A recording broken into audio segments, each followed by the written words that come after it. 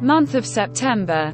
September is the ninth month of the year in the Gregorian calendar, which is widely used today.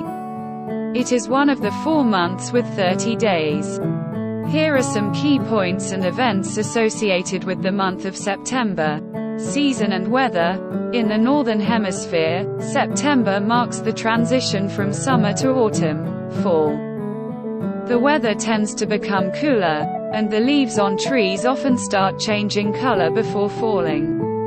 In the southern hemisphere, September brings the transition from winter to spring. Labor Day.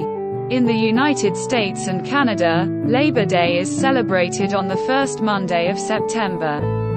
It honors the contributions of workers and the labor movement. It also unofficially marks the end of summer and the beginning of the school year. Patriot Day. In the United States, Patriot Day is observed on September 11 to remember and honor the victims of the